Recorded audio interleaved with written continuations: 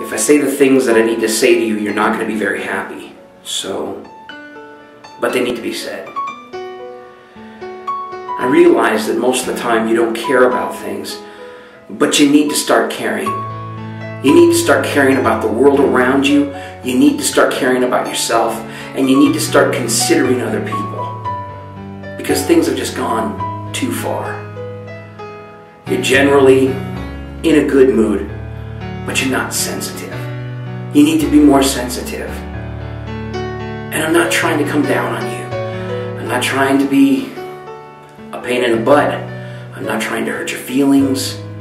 I'm not trying to make fun of you or light of you. I love you. I care about you. I like you just the way you are. But for your own sake, you could do better. You could be more and you could achieve more. I believe that you can be a better person than you are now. I hope you don't hold this against me. That these things absolutely need to be said. The only way you're going to change the world is if you change yourself first.